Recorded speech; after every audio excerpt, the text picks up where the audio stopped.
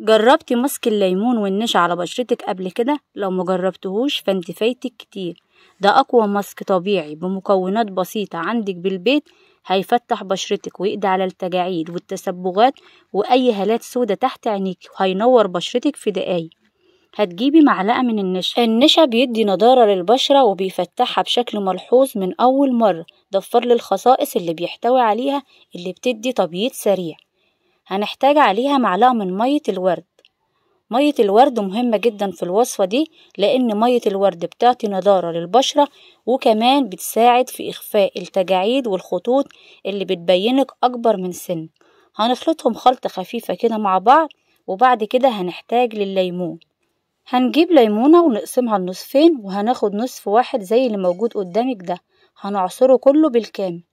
لو انت بشرتك بتتحسس من الليمون ممكن تستغني عنه بس من الأفضل نتيجة الليمون لأن الليمون بيساعد جدا في التفتيح السريع. فلو أنت بشرتك مش حساسة هيكون بالليمون أفضل جدا في النتيجة السريعة.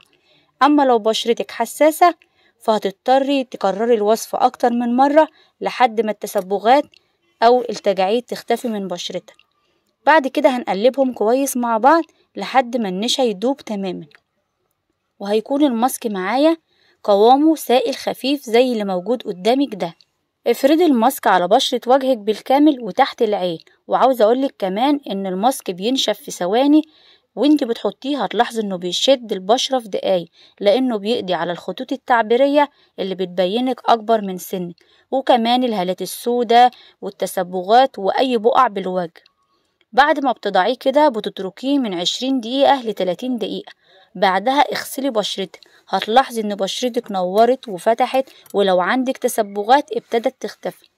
كرري الماسك لمدة أسبوع كامل مع المداومة وإن شاء الله كل مشاكل بشرتك هتختفي.